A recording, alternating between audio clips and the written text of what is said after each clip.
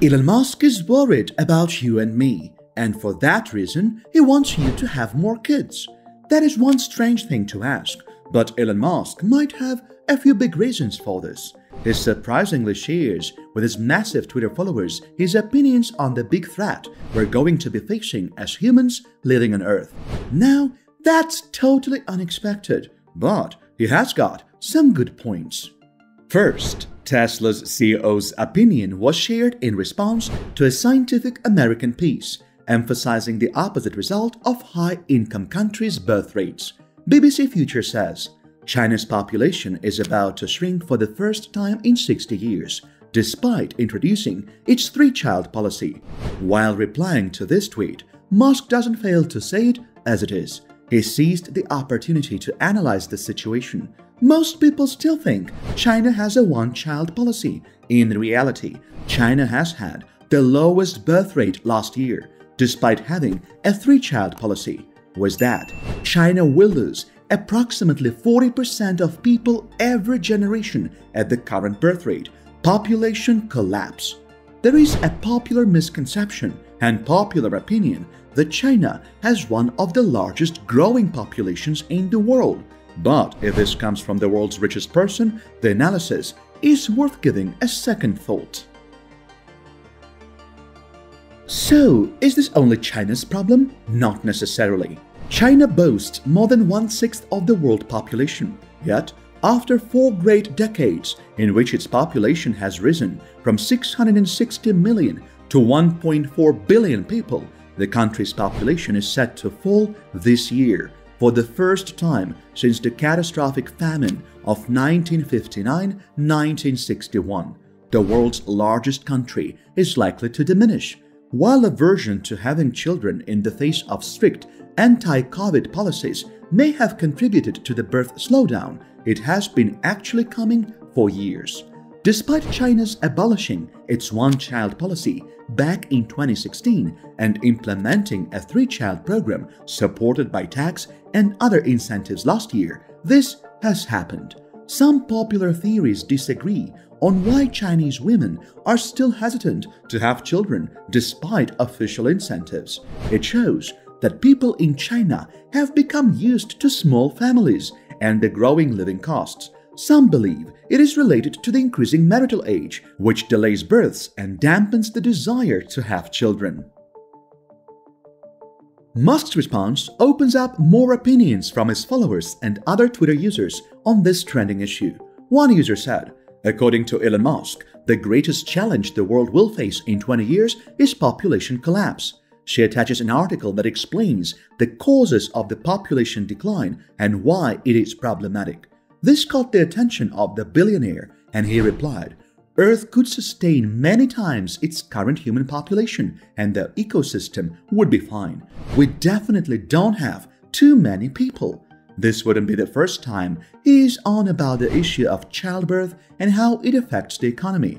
Musk has been tweeting about worldwide birth rates decreases for months. The 50-year-old entrepreneur, a father of at least seven children, has identified Hong Kong, South Korea, China, and the United States as being in danger of collapse.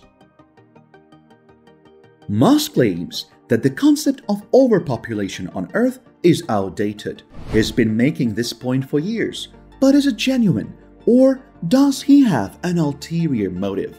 His words, civilization is going to crumble. Before his tweet on China's economy and population, his primary focus was on Japan. At the risk of stating the obvious, unless something changes to cause the birth rate to exceed the death rate, Japan will eventually cease to exist, Musk tweeted. This would be a great loss to the world. However, he cautioned that Italy is in danger of disappearing after its birth rate plummeted to about one kid per woman last year. According to Musk, the typical woman has to have 2.1 children to achieve population replacement rates. Instead, the United States has lately generated around 1.8 children per woman. That is about half of the fertility rate in the 1950s. However, its population is still increasing.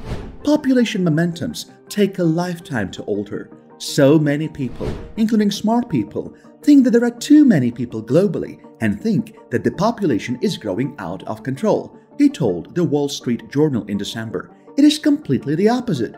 Please look at the numbers. If people don't have more children, civilization is going to crumble. Mark my words.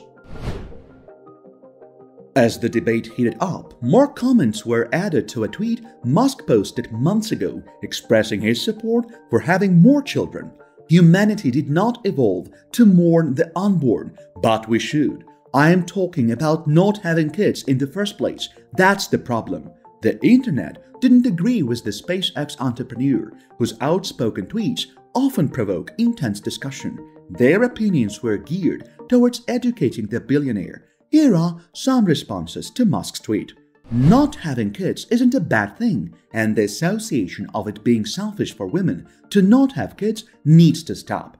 Another user added, I don't want to bring kids into the world, cause probably in a few years there is no water to feed them. They will come just to suffer the worst human behavior when the water war begins. This opinion strikes though. Not everyone needs to reproduce. Not everyone can.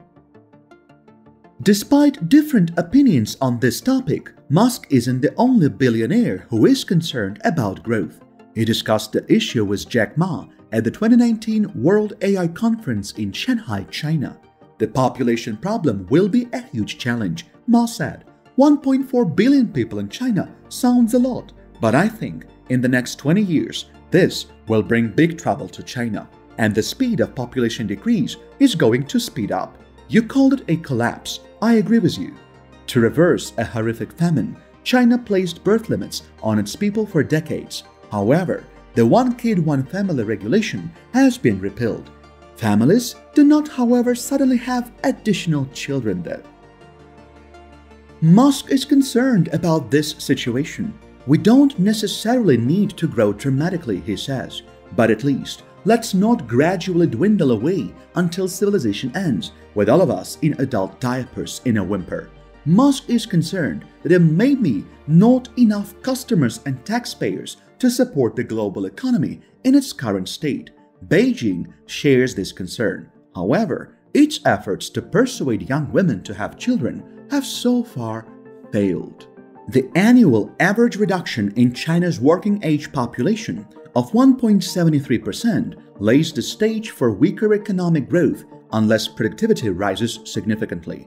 Higher labor costs, driven by a rapidly declining labor force, are expected to drive low margin, labor intensive manufacturing out of China and labor rich nations such as Vietnam, Bangladesh, and India.